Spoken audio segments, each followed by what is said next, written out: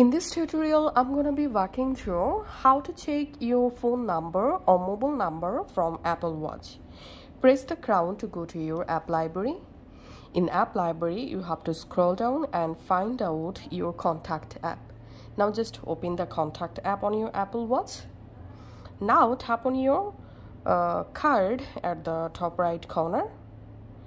And here you see your mobile number or phone number or you can just tap on uh, you can just scroll down here just like this.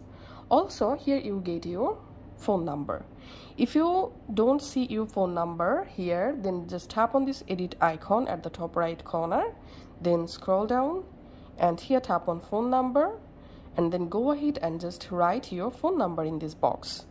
And then tap on save and now on you can easily check your phone number from this contact app. Thanks for watching